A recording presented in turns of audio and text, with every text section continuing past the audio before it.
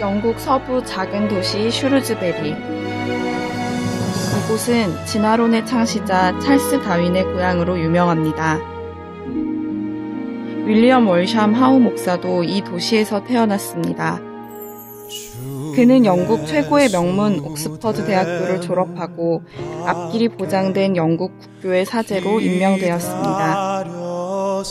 그러나 하우 목사는 평탄한 삶을 버리고 공장 노동자들을 찾아갔습니다.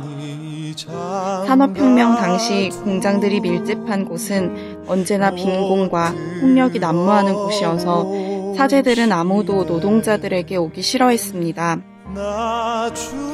하우 목사는 무려 28년간 가난한 노동자들과 함께 동거동락하며 복음을 전했습니다.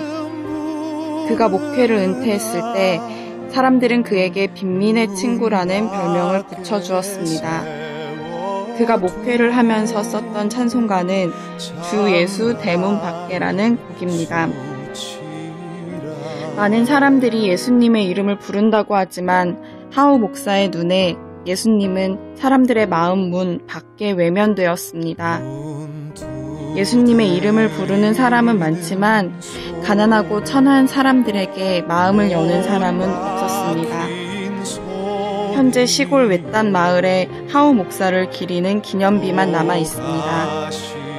주님의 고난을 기억하며 하우 목사의 찬송을 부르면서 예수님의 고난을 묵상해 봅시다.